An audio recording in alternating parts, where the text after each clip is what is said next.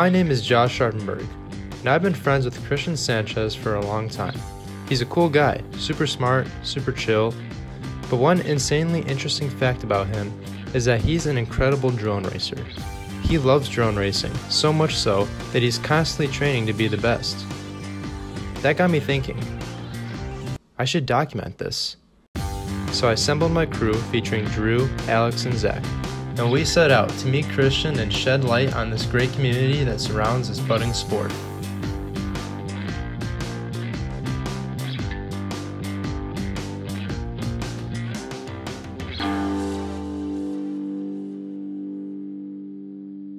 How did you get into drone racing? So I got into drone racing um, back in like around 2018 that's when I got my first drone and I put it together and I did a lot of crashing and that's how I, I started learning, yeah. How much have you improved since you started? I started going to this place called the Dome. Uh, and when I first started, I would go there and I would see all these really fast pilots that were sponsored by companies. And I never thought it'd be uh, as good, you know, as, as them. Around maybe two years ago is when I started making a lot of progress. This past summer, is uh, when I finally became sponsored by uh, two companies. One of them is called Mobility Gates, and then the other one is called Good Venture Drones, uh, which finally made me feel like I was good enough as the other people that I looked up to when I first started. Currently, I believe I am ranked 150 something at the beginning uh, of each, each season, MultiGP, which is the, the league that is currently in the US, it's kind of like what NBA is to basketball. They release a track that is universal and anyone can build it, uh, you know, in their own backyard or in a field, um, and then they can practice on it. And then what they do is they host certain events where you bring your drones and you fly as fast as you can, and they count your fastest three laps uh, they add them together and then they upload those to a website. And that's how you qualify. And in that website then they sort them by order who's fastest and who's slowest and that's how you get ranked. And then once you uh, you qualify in like top 200 and you get sent to the championships then you have a chance to move up that leaderboard. And what you, whatever you place in the the event is what your rank is in like the country uh, my ultimate goal is to be top 50 fastest pilot in the multi-GP league. So uh, I will show you guys a bit of uh, what I do to practice and we're going to go to the simulator. Um, so follow me into my room.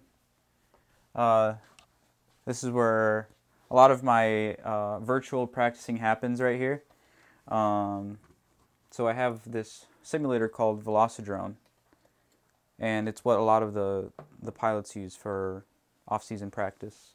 Uh, typically, typically what I do is uh, I hook up to this uh, simulator here. Uh, I gotta turn my radio on first. Welcome to OpenTX. And it's pretty fancy. It's got a USB port. We just connect it, and then I am ready to use it with a simulator here. Um, then I just clip it on to myself in my shirt and that way uh, I'm also very consistent uh, with where my controller is placed at all times. So whether I'm practicing here at home or I'm at a race, my radio is always going to be in the same exact position.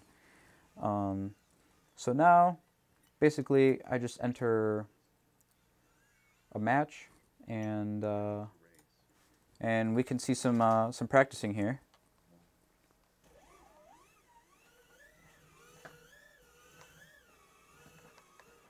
Whoa, and then I crashed there.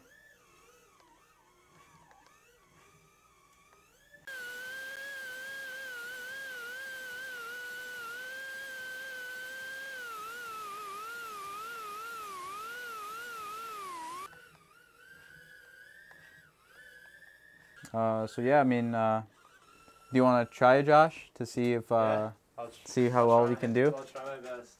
Cool. I don't know how well I'll do. So here's the controller. Basically, um, I, should I have the strap? Like yeah, if you want the strap, that works too. You probably recommend the strap, right? Yeah. Okay. So you can put, uh, yeah, I'll put this on. There we go. Uh, and then just clip it on. Alright. So the left stick is is your your throttle. Okay. Um, That's how you go up, and then these over Oh, here are to control it. This is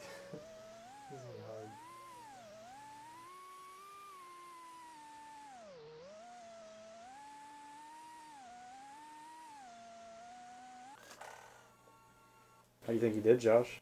Uh, I suck. Watching Christian fly in the simulation, as well as trying it myself, was pretty cool. But we didn't want just simulations. We wanted the real deal. So we packed our things and drove to a park to get the full flight experience.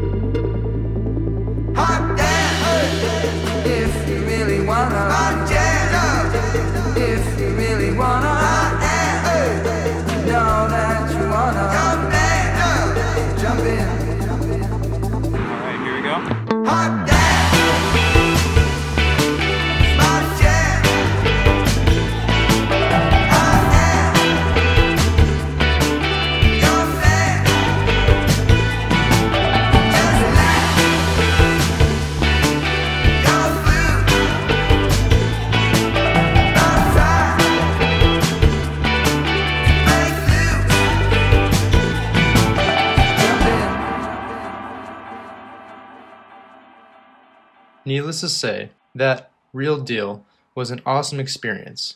But we weren't just going to stop there. We were hungry for more. So we set out to capture more of the drone racing community. We wanted to check out the nightlife.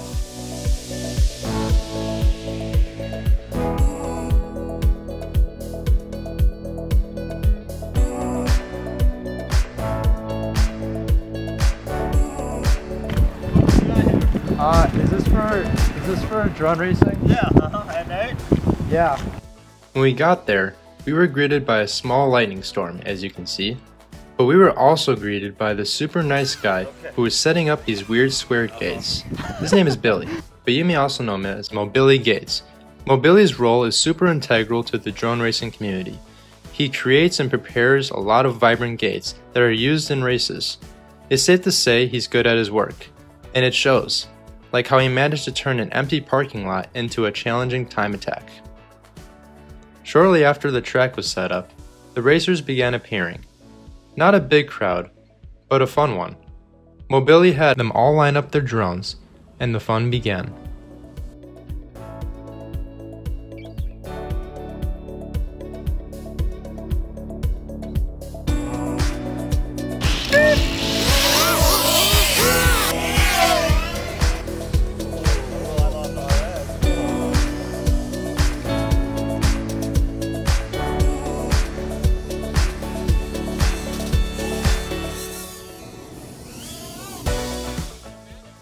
Watching these guys fly, I thought, this just looks so easy. What's the challenge? But Christian's voice came out of nowhere and reminded me of this.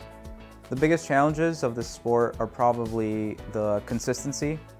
Um, we have a saying, smooth is fast. Consistency is key. And it's basically because these drones are so delicate that uh, even a small crash can destroy the whole thing. So if someone is able to fly very consistently, then that means that they're able to excel and, and practice more rather than fix more. Uh, so the, the thing that we want to get is maximum uh, flight time, maximum practice time, rather than just being fixing drones all the time. Okay, so drone crashes do sound pretty scary and intense. But watching them, they're pretty awesome.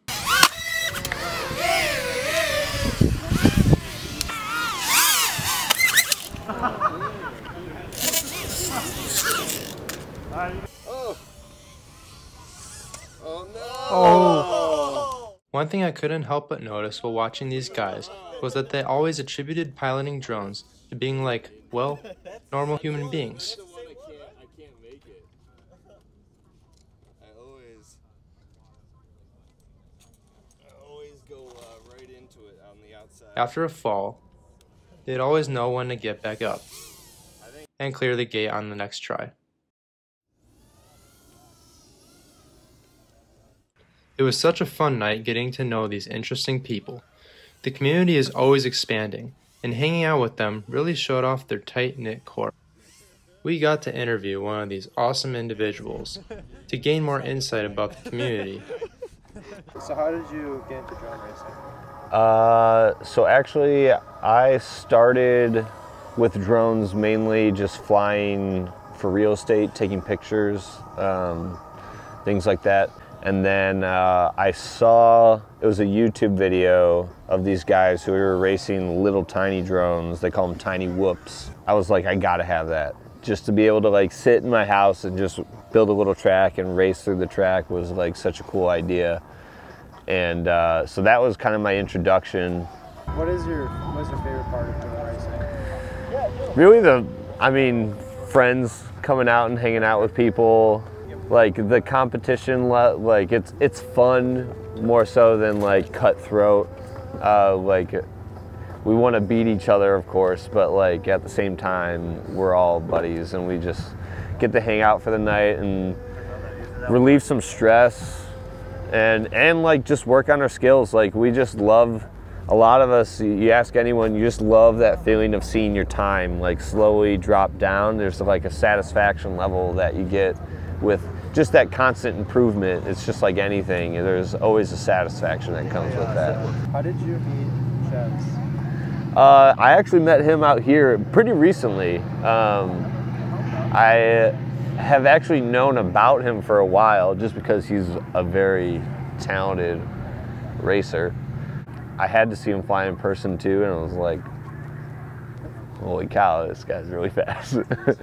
it's super. But, uh, you know, it's cool because when you get to be around someone like that, it helps you too. Like, you get to learn you get to learn tips and tricks from someone like that and it helps you improve so as far as drone racing like you know if you're ever interested you join for the community like you know find people on facebook find people on whatever medium you, you might use and uh, people are super open to helping people get up in the air. Uh, we're always willing to help f- find a way whether it's parts whatever it is to, for people to have a good time. So and that's really what it's mainly about is having a good time being in the air as opposed to just having constant problems. So yeah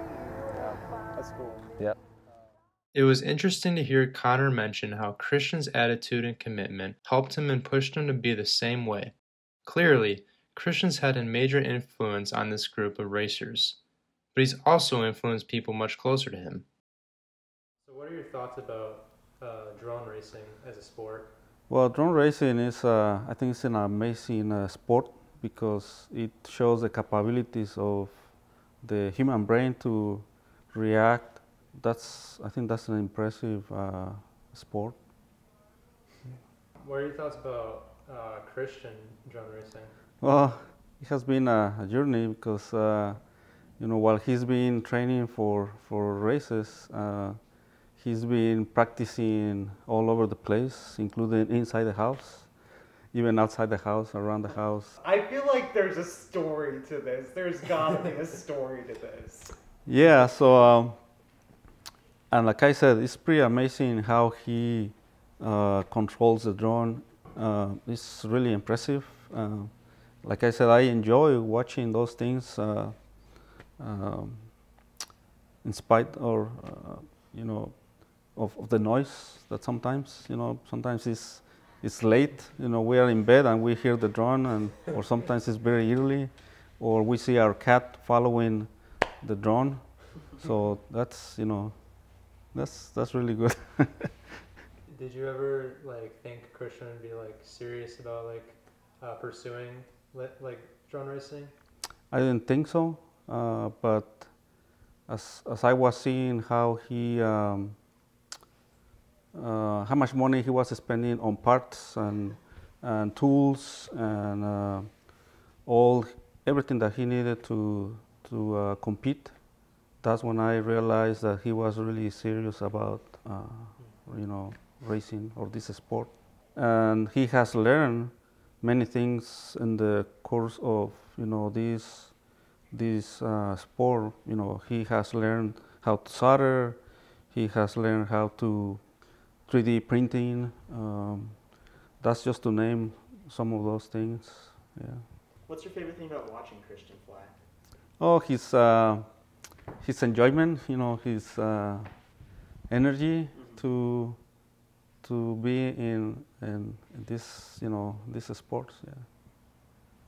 This is another thing that I see is very um, beneficial for him. Uh, he he has been uh, applying what he knows about uh, drones to this other um, academic uh, field as well.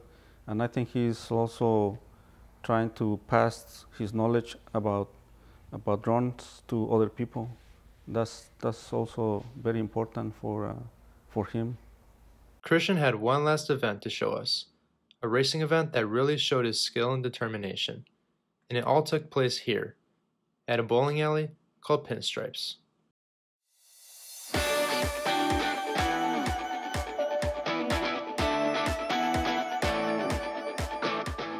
At a drone race here, uh, racing this this little guy right here, and uh, I we, we work by heats, and I'm heat six, so I'm like the last person to go. And yeah, I'm just gonna try to put in my fastest time I can right over there. Those obstacles there.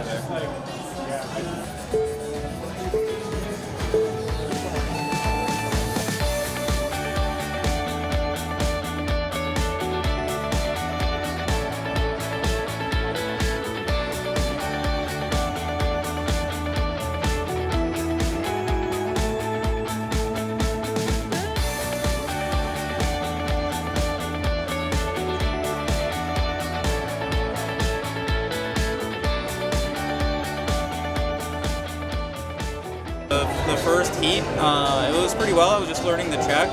Um, I think I put an old battery on my drone where I didn't finish the first lap, but then someone let me borrow a second battery. The second lap I got maybe like 30, 31 seconds, I think. Um, so right now that's the, the fastest right now, the, the race to the whole thing. Uh, 30 seconds, so we'll see if I can improve. I'm shooting for 20 seconds. Sub 20 might be nice. Okay. I feel like that, that's going to be what my max is going to be. Christian had set himself a personal goal time of sub 20 seconds. I set a goal for myself too get some really cool footage of drones.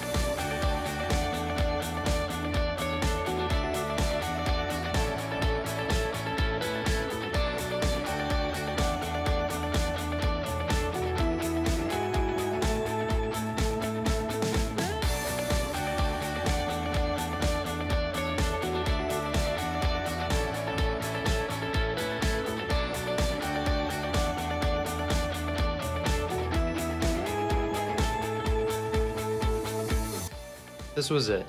This was the best event I had gone to during Christian's off season. All because it showcased everything that made drone racing drone racing. Custom built drones, bright neon gates, and several people with goggles flying around. Competition, community, and fun. Without these factors, drone racing would never be the up and coming sport it is today. For a newcomer, this was paradise. For Christian, this was home. Finally, it was time for Christian's final race of the night. This is where he was to make sub 20 seconds.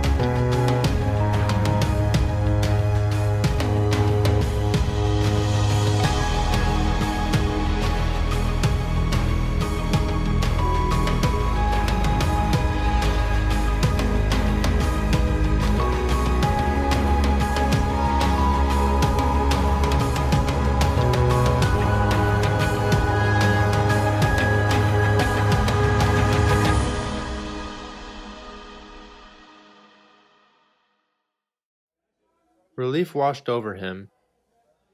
He crossed the finish line and smiled. He completed the race, in no less than first place, as expected. Very last heat I did. I got uh, 20 point something. I got two laps where I got a 21, and then the last one was 20.6, I believe. I was so close, so close to sub 20. Um, but yeah, I mean everything else went pretty well. I was very consistent. Pretty proud of how I did today. Just kind of practicing. Just uh, it's just a fun fly, just practicing around, having some fun here. Next time around, we'll we'll try to do better. Any other concluding thoughts? Uh, no, not really. Just uh, just having fun out here. That's all. That's what it's about. Yeah. That's what it's all about. Being out here and having fun. Are you proud of the work that you've achieved so far? Yeah, I'm really proud. Um, I think uh, like the moment that I started winning races consistently, it's when I was very proud of myself. So like a big milestone for me was like being sponsored or being part of the a team. And then obviously a lot of people will also look forward to like bigger things. They'll be like, okay, now I'm gonna win the championship or now I'm gonna win this certain race that a certain pilot wins every year. Uh, but for me, I'm actually not sure what my next goal is. Probably to keep improving, uh, be faster, but a specific goal I'm not sure yet. Yeah. Ches, I would just love to see him just keep pushing. Um, like I know he's super focused on school and stuff like that right now, but like I would love to see him keep pushing down the path of like drone racing and all that. The moment that I realized that drone racing made me happy was probably my first uh, race, just because uh, I loved the like adrenaline that I got uh, from racing other people, and it, I just found it very rewarding. Even though at the very at the very beginning I was not winning many races, I was mostly crashing out, and when you crash out, you're basically done because the drones just break. Um, but I just found it very rewarding to to just race. Uh, as a parent, we want our kids to have our kids involved in any sports, uh, but this specific uh, case has, uh, for me, I think it's important that he he um, is into that because he will learn and will apply and apply that in school and later probably in in a, in a job. If someone has a passion, or if someone has multiple passions and they want to choose one, I think my advice would be uh, to just choose the thing that makes them the happiest. Um, I know, like in high school, I was also doing cross country, um, but it's just something that I was not as passionate about as like drone racing or any other things. Um, and I just kind of went off of like, okay, what makes me feel the best? And drone racing made me feel very good. So, no, that's it. that's all I got. Yeah. Sorry, it seemed Cool.